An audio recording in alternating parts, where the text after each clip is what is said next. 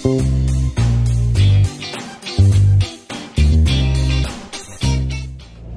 je u jednoj ljubavnoj vezi najbitnije u mojim očima? Druga tema danas, malo o životu da popričamo, malo da vidimo to.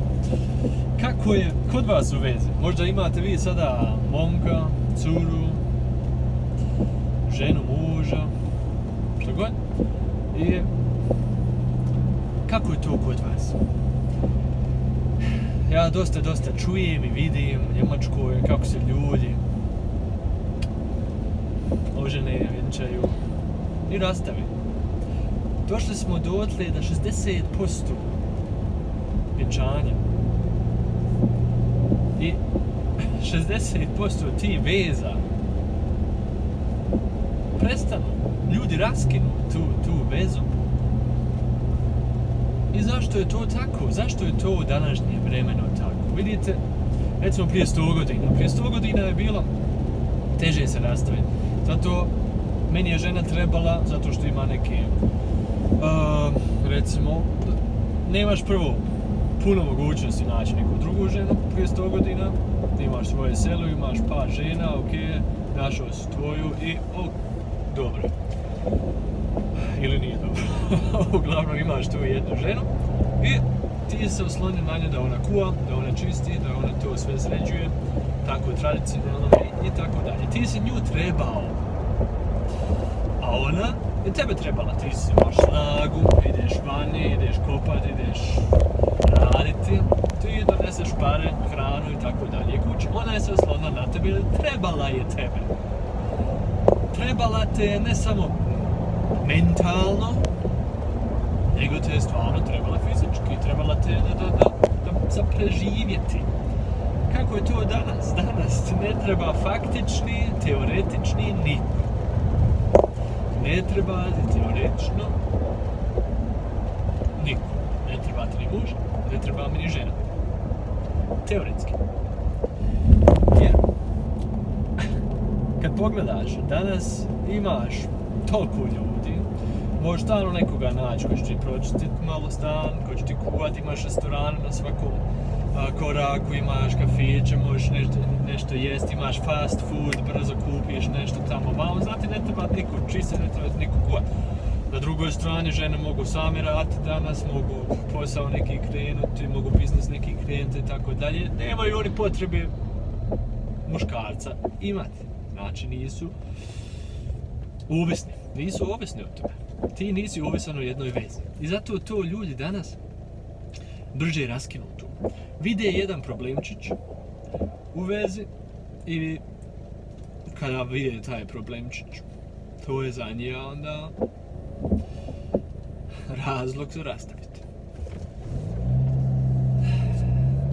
Zato što misle, ok, imaš nakon aplikacije, internet, online dating, naćiš ti za čas nekog.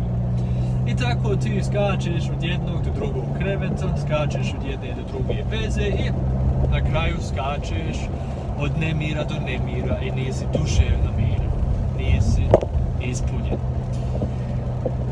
Da vam kažem iz mog iskustva, ja sam imao tri duge veze i sada trenutno nema vezu jednu.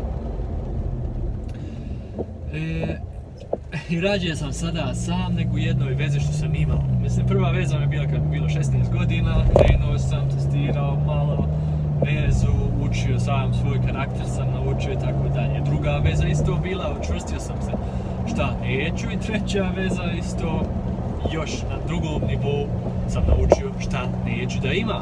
I u sve te tri veze je bilo to tako da su te cure bile fine, lijepe, po izgledu. Ali, što i ja za sebe sada vidim što sam stariji, bitno je karakter. Najbitnije u jednoj vezi je karakter. Imaš ti karakter ili ga nemaš. Nema veze izgled. Ima toliko lijepi ljudi, stalno će biti neko ljepši od tebe, stalno. I ljepota je subjektivna. Neko kaže lijep, neko kaže da sam ružan, pa šta ću mu ja, tako je to. Ne smiješ o tome misliti. I šta je u vezi jedno najbitnije je da ti poslije nekog vremena imaš karakter i da ti pašeš s tim karakterom sa tvojim sa tvojom vezom. Jer to je problem u većinom ti brakova i veza. Ljudi su skupa i sviđaju se po izgledu i tako dalje, ali svađaju se. Svađaju se, stalno se svađaju zato što ovaj jedan ima ovaj karakter, onaj drugi, ovaj jedan ima ove ciljeve u životu, ovaj drugi ima te ciljeve druge u životu. I to se sve poslije nekog vremena pokaže i onda taj izgled više nije interesantan, nego je bitno kojim putem ti hoćeš ići, kako hoćeš živjeti, koji karakter imaš, koje ciljeve imaš, koju viziju imaš u životu. I to treba biti na jednom nivou što je sličan sa tvojim partnerom. Ne samo imati dobar, dobro, dobru vezu, ono što se tiče tjelesnog aspekta, nego mentalno. Ok? I to je to. Znači, moraš ti imati jednu bazu, jedan put, jedan cilj, ovo dvoje idu tim putem.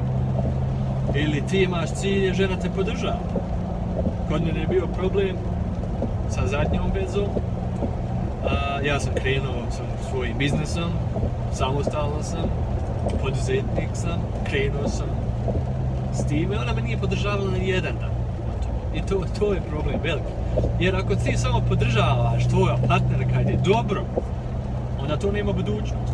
Moraš u dobrim i u lošim vremenima podržavati svoga partnera. I onda stvarno biti lojalan i iskren kad baš bude loše. I to danas ljudi ne mogu, to danas ljudi nemaju bolje, jer misle se, ah što ću ja ovo sad mjesecima trpit, mogu prekret vezu i naći nešto bolje.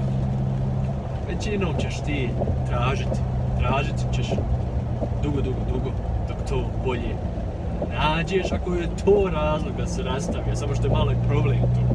Bitno je kako ti komuniciraš u tom problemu, kakav je tu, kakva je tvoja komunikacija tu. Eto da, malo sad ovo skratimo sve.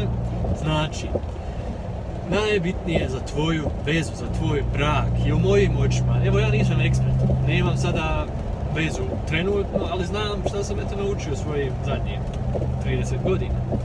I sa moju sljedeću vezu znam, od početka karakter je bitan, ciljevi su bitni, lojalnost, vjera, isto vjera, jedan veliki, za mene, ja sam katolik, imam svoju vjeru, idem u crkvu, vjerujem u Boga, vjerujem u to i, i sada ne bi ja mogao s nekim biti skupo koji ne vjeruju ništa. Eto, je to jedan faktor za mene.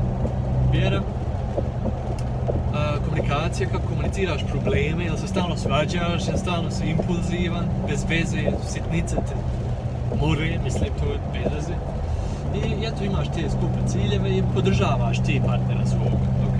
Jel se možete nekako iskombinirati jedan a, u, tvoj, u, tvojoj, u tvojoj vezi.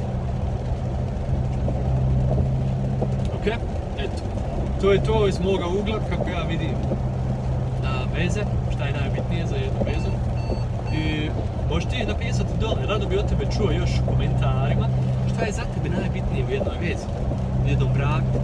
Napiši dole u komentarima, baš me zanimalo šta ti tu misliš i želim ti da lijep dan, sve najbolje, vidimo se. Ćao.